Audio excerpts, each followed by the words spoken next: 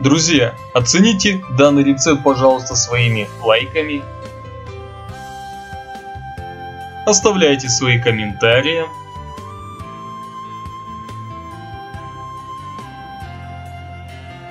Подписывайтесь на канал, если вам понравилось.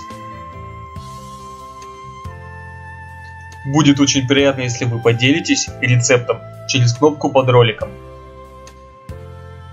До скорых встреч и новых вкусных рецептов. Всем удачи и не сдавайтесь в своих кулинарных начинаниях.